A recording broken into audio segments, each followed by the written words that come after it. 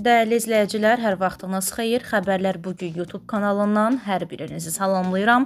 Videomuzu maksimum bəyənib kanala abunə olun.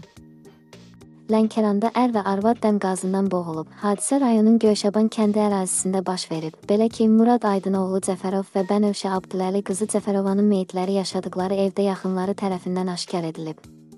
Onların dəm qazından zəhərlənərək öldükləri ehtimal olunur.